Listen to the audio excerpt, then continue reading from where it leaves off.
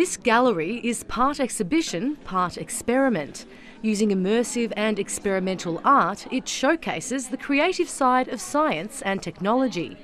People perceive art and science as, as, as such different disciplines, but there's this beautiful overlap uh, between them. Uh, we want to bring the creative uh, aspect into those disciplines and really um, inspire them to consider them as future careers. Young people are at the centre of the gallery's work as decision makers and even curators. You don't often get the chance to, you're not really part of the discussion in the first place. The gallery's inaugural exhibition explores a range of perspectives on mental health and what it means to be human.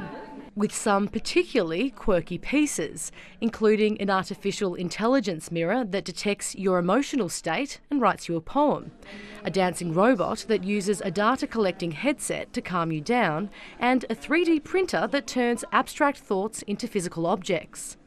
Visitors also have the chance to be participants in live experiments. We're working with academics from the University of Melbourne um, who are doing uh, live research uh, within the gallery space, and people can be part of that with real life uh, research outcomes. This hamster wheel is one of more than 20 immersive artworks exploring mental health.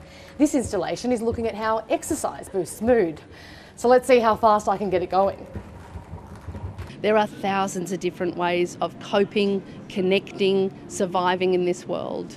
And there's just a few examples of it here, but we hope that you come in and can take something away with you. The gallery will open its doors to the public on July the 20th. Zalika Rizmal, ABC News, Melbourne.